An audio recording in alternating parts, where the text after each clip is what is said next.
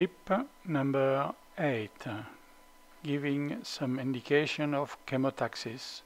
In case of Oxyrrhis marina, we see cells which gather around a debris. They describe circular movement and group around the debris. Thank you for your attention.